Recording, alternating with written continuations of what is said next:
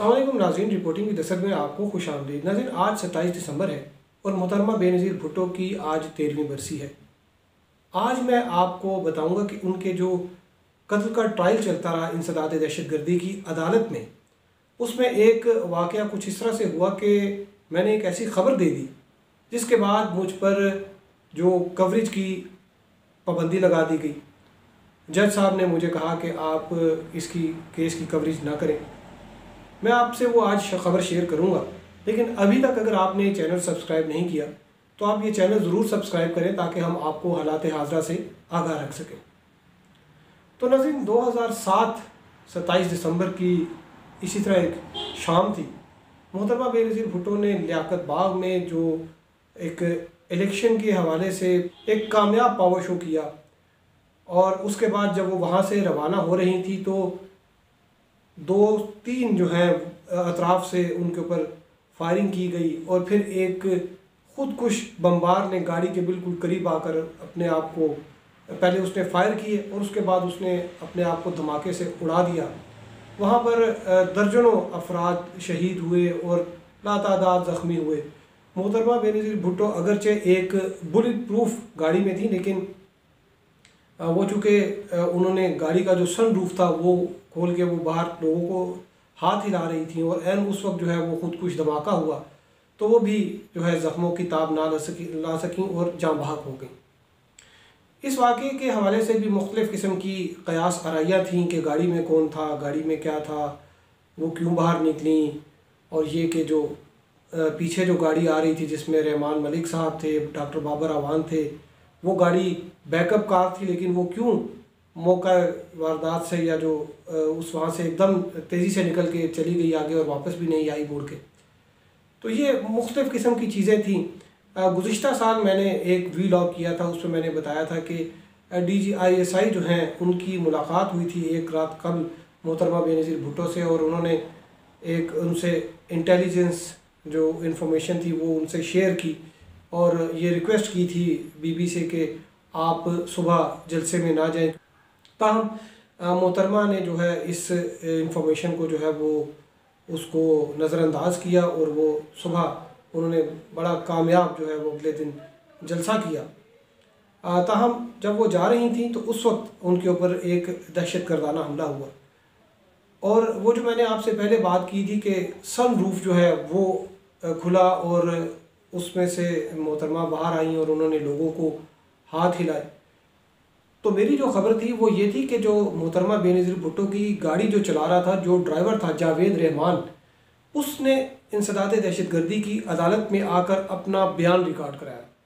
और उस बयान के बाद एक कंट्रोवर्सी जो है वो जनरेट हो गई। जावेद रहमान जो है वो प्रोसिक्यूशन विटनेस थे और चूँकि वो मोहतरमा की गाड़ी चला रहे थे तो वो बड़े अहम विटनेस थे।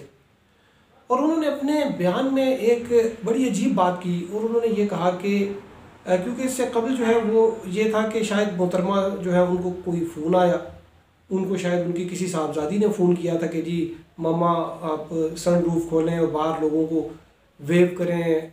लेकिन जो जावेद रहमान थे, उनकी जो स्टेटमेंट थी इंसदाद दहशत गर्दी की अदालत में, वो बिल्कुल मुख्तलिफ़ थी। उसमें उन्होंने ये कहा कि जो सन रूफ था, वो नाहिद ख़ान जो कि पॉलिटिकल सेक्रेटरी थी मोहतरमा बेनज़ीर भुट्टो की, उन्होंने खुलवाया और नाहिद ख़ान साहिबा ने इंसिस्ट किया कि मोहतरमा जो है वो बाहर निकलें और लोगों को जो है वो हाथ हिलाकर जवाब दें, लोगों को बताएँ कि वो उनके साथ हैं, वो उनकी लीडर हैं, वो उन्हीं के दरमियान है। फिर उन्होंने ख़ुद सन रूफ खोलने की कोशिश की तो वो नहीं खुल सका। फिर उसके बाद गाड़ी में एक, जो जरदारी हाउस के एक मुलाजिम थे, मेरानी साहब। उनको कहा कि आप खोलें।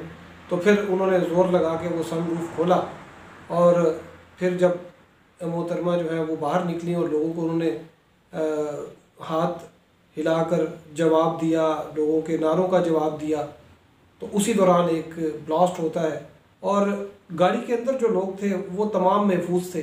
लेकिन मोहतरमा अचानक जो आई विटनेसेस हैं, उनके मुताबिक मोहतरमा खून आलूद हालत में जो है वो एकदम नीचे गिरी हैं और उसके बाद जो है वो गाड़ी के टायर जो है वो ड्राइवर ने बताया वो भी सारे पंचर हो चुके थे। बिल्कुल इस काबिल नहीं रहे थे कि उनको चलाया जा सके। लेकिन और कोई रास्ता नहीं था तो वो पंचर टायर्स के साथ जो है वो गाड़ी को भगा के जो सेंट्रल अस्पताल है जिसका नाम अभी बेनज़ीर भुट्टो अस्पताल रखा गया है। वहाँ पर मोहतरमा को पहुँचाया गया। और मोहतरमा जो है वहाँ पर जब पहुँची तो बेहोशी की हालत में थी और फिर खून काफ़ी ज़्यादा बह चुका था और फिर तकरीबन को दो घंटे बाद ये अनाउंसमेंट की गई कि मोहतरमा जो है वो शहीद हो चुकी हैं। ताहम ये ख़बर जब मैंने डान अखबार में रिपोर्ट की मिस रहीद ने बड़ा शॉर्टली रिएक्ट किया। उन्होंने कहा, मैंने तो नहीं उनको कहा था कि वो बाहर निकलें और उन दिनों एक जो है वो पीपल्स पार्टी में और जो मिस नाहिद ख़ान है, इनके दरमियान एक रिफ्ट थी। मिस नाहिद जो थी, वो उन्होंने बल्कि अपनी पार्टी जो है वो बनाई वर्कर्स और फिर उन्होंने ये भी एक इलेक्शन कमीशन में पटिशन डाल दी थी कि पाकिस्तान पीपल्स पार्टी जो है उसका टाइटल मिस नाहिद जो है वो उनकी पा, उनको दिया जाए। इसका भी एक बैकग्राउंड है। उन दिनों सुप्रीम कोर्ट में एक केस आया था कि पार्टी हेड जो है, वो गवर्नमेंट का जो है वो अहदा उनके पास इस तरह से नहीं हो सकता। वो स्टेट के हेड नहीं हो सकते, जो पार्टी हेड होते हैं।